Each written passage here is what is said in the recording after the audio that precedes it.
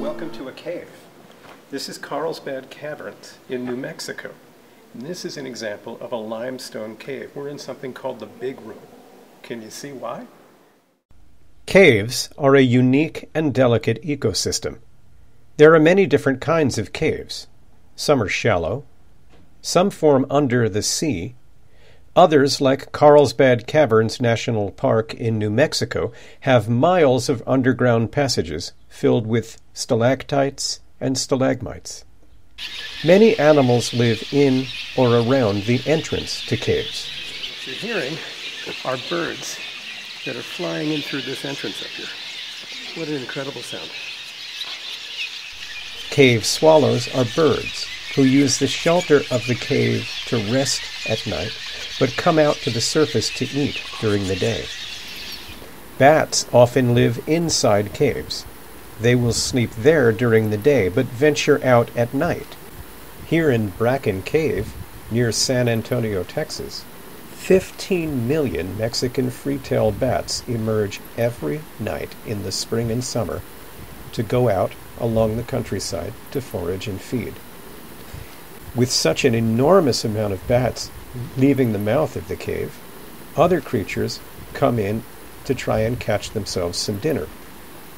This is a rat snake on its way down to the mouth of the cave to see if it can find something to eat.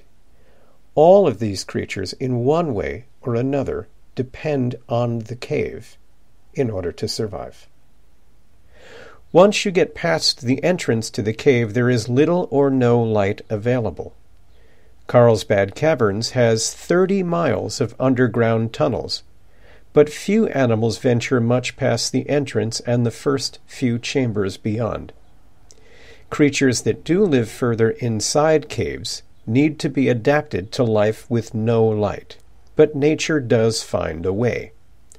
Inside caves, there are species of fish, as well as snails, and some insects that have adapted to live underground. Many microbes deep inside the cave use chemicals in the rock rather than sunlight to form the food they need to survive. Scientists call that chemosynthesis rather than photosynthesis, which is what green plants do. In deep caves, the temperature is about the same all year long. Carlsbad Caverns is about 56 degrees inside, no matter how hot the summer days get, or how cold the winter nights are in the areas outside the cave. Will climate change affect caves? There are some ways.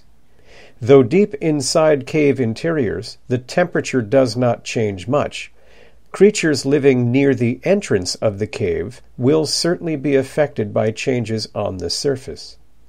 Rainfall patterns, however, can affect conditions deep inside caves. If rainfall on the surface changes, the amount of water inside the cave will change along with it. Water is essential to caves. In fact, it is how caves like Carlsbad Caverns form in the first place.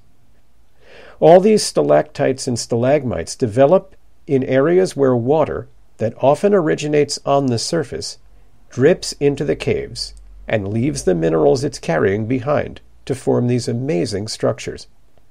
In fact, some scientists use caves to study the history of our climate, which they can see in these stalactites and stalagmites that can often take tens of thousands of years or longer to form.